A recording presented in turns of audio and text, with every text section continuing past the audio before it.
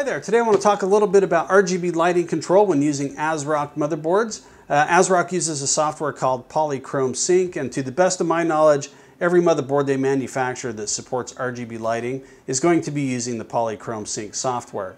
So this is a B550 Steel Legend that we're going to be working with today. And if you haven't already, I highly recommend that you uh, break out the user manual for your specific model and if you haven't purchased one yet and you're just trying to research and see if this is right for you, you can go to their website, find models that you're interested in, and download this PDF uh, version of this. Anyways, this will have a lot of really useful information, you know, as far as to like the locations of those headers, you know, the number of headers that you have and the type. And the type would be, you know, whether they're going to be 12 volt non-addressable headers or 5 volt addressable headers. Um, it should also include you know, any limitations on those ports. For example, like the limitation that it points out here is that those ports are uh, 3 amps total or 2 meters maximum. And there should be you know, a little bit of information on Polychrome Sync in here. So Polychrome Sync is also supported in the Razer software. It supports the Razer Chroma effects, which are just some special effects in uh, certain games. You can turn on the lighting effects in the settings. And if you've got the right supported controllers, when those actions occur in the game, you'll just get specific predefined events. So that does work with this. It supports this. We'll take a look at that as well. So let's go ahead and get some RGB devices installed in this. And we'll just kind of take a quick uh, in-depth overview look at the Polychrome software and the Razer Chroma as well we'll take a look at. And we'll check it out and see if it's any good. All right, so I've added some devices to this PC. Um, I've left them outside the case just because I think it'll look better when we do the demonstration with Polychrome Sync. Uh, this particular motherboard today has four RGB headers, two of the 5 volt addressable and two of the 12 volt non-addressable. It's also got some built-in RGB lighting that we can play around with. And uh, ASRock also does support a wide range of components, meaning memory modules, heat sinks, fans, uh, power supplies, um, etc. If you head over to the website, you can see that list of all the supported devices as well as the supported games and the Razer Chroma effect.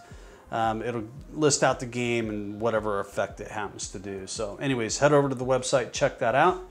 And uh, how I've cabled this up today is I've taken the three fans and I've connected them to a splitter. And that splitter is SATA powered and also has a PWM connector. And so basically that splitter just has a single cable that plugs into that 5 volt header. So it's not a hub. Most of these are splitters that we're talking about. So basically it takes that signal from that header and just passes them to all three fans. We don't really control the fans individually. They just all get the same element. And, but we'll take a look at that in a minute here. So um, on the 12 volt header down here, I've connected up this 12 volt LED strip. And on the other 5 volt header up here, I've connected this uh, LED light bar from Jim. I didn't use the other 12 volt connector up here. I do have another 12 volt LED strip, but I don't have the right uh, uh, connection cable with me. So anyways, let's go ahead and get Polychrome Sync installed and we'll take a look at uh, how it works. All right, so after you get Polychrome Sync installed and run it for the first time, this is gonna be the main screen that you get put to. Uh, the main layout of this is across the top. You're going to get the devices that you can configure. Um, in this particular demonstration, I've got just the onboard LED, which is, just includes the motherboard components themselves.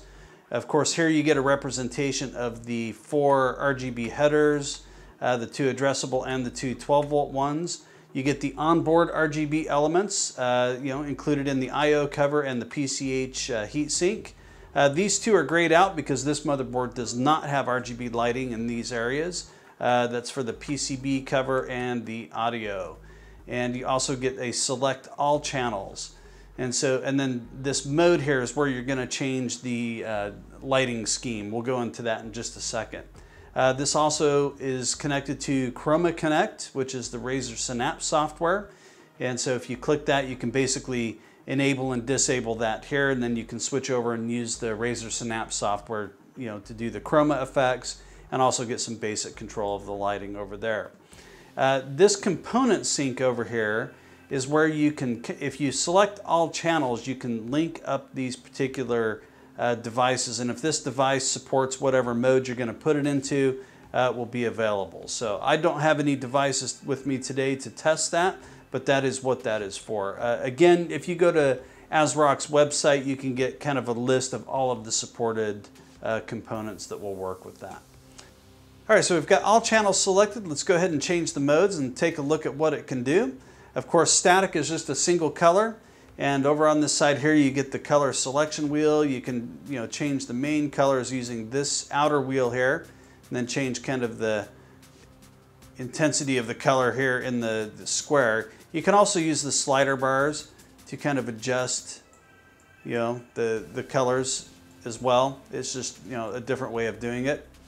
So it works pretty well. I can select almost any color that I want.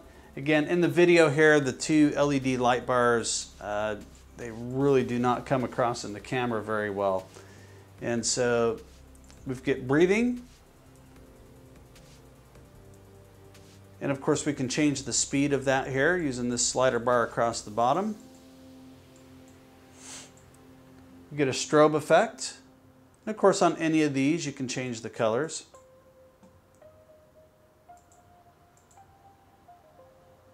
There's a green. Of course, you can change the speed and all that as well.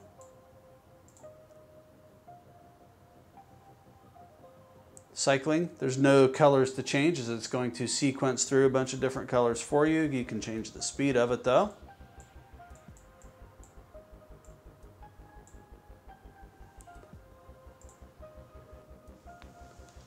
And random is exactly that. Looks like it just changes it to random different colors. Music, of course, Let's see if we put some music on. Critics are raving about West Side Story. Steven Spielberg pulls off the impossible. It's a timeless tale for a new generation.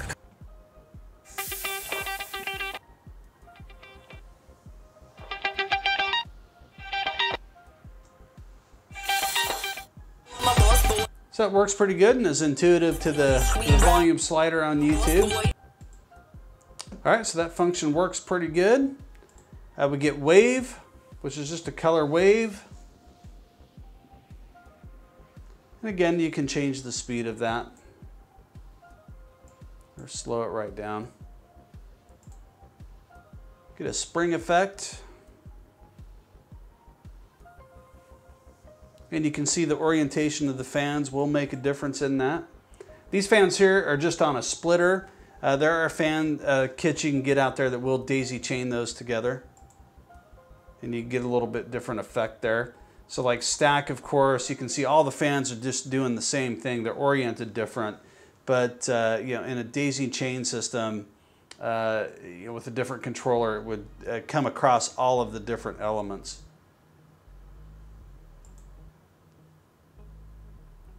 Cram, of course, is kind of the same thing. Slow that right down. Go back to stack and you can kind of see how that works.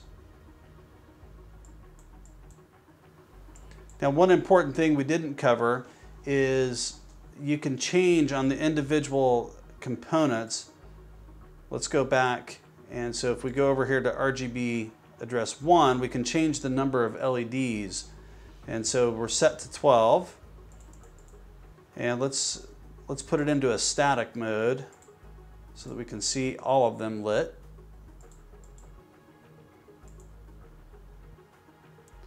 And then if we come back here, if we turn that down, there's zero, of course. One, two, three. And of course, if these were daisy chained, you know, they would all just work their way up across all the fans. So it looks like these fans have 10 LEDs in them each.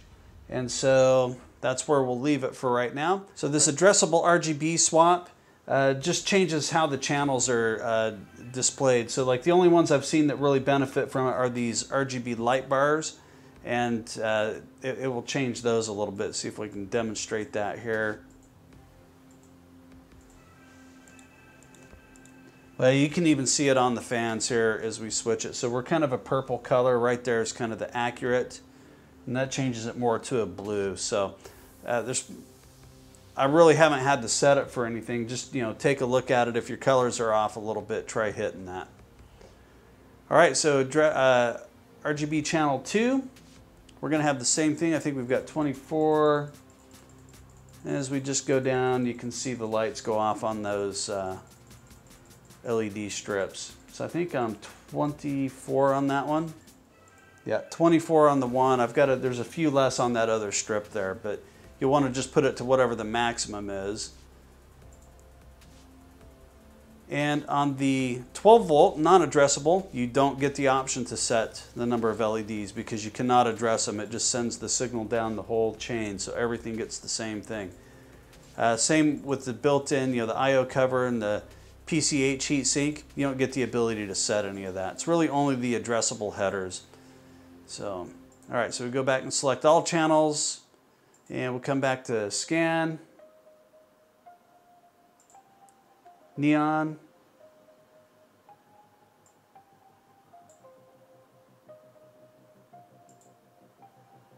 A water effect.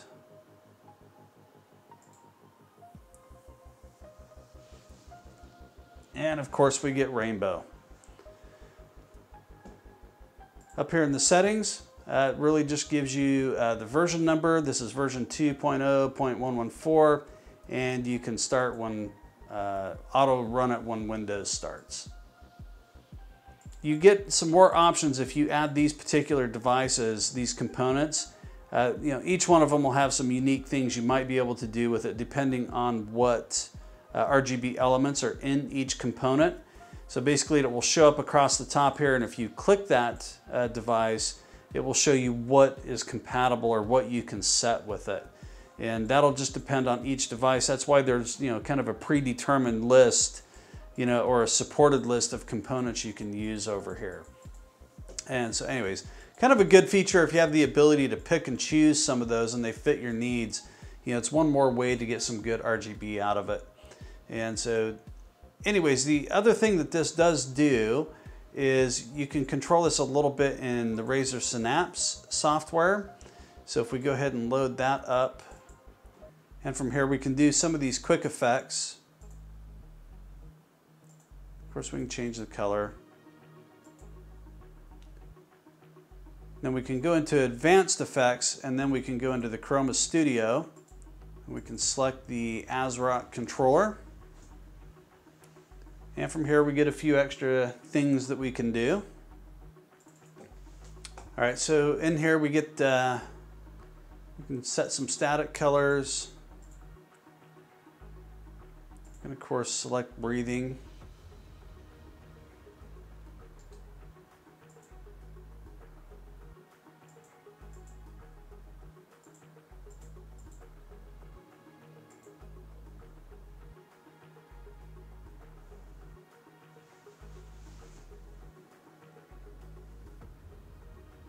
And you can change the speed and all that good stuff. Let's put wave up here.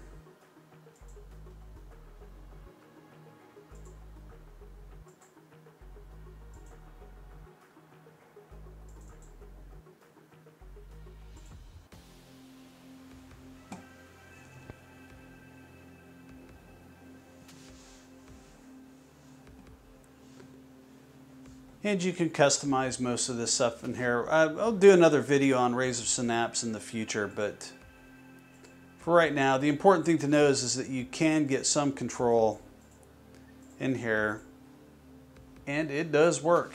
The other thing it will do is it supports uh, certain games that uh, have chroma effects built into them. And the one that I did try was Fortnite. It worked. Uh, it's very limited in what it can actually do. It didn't. That game didn't have a whole lot of effects like if you're familiar with that game, going into the storm, you know, turn the lights, you know, something similar to what the storm was. It was basic, but it does work. Uh, you can go to the Razer uh, website and kind of get a list of all the games that that's supported in and what they do. So, anyways, it, it worked. That's the important thing to note. All right, well, there you have it. There's a quick overview of the ASRock RGB ecosystem and the Polychrome Sync software that controls it. Overall, I've got a positive impression of it. It works.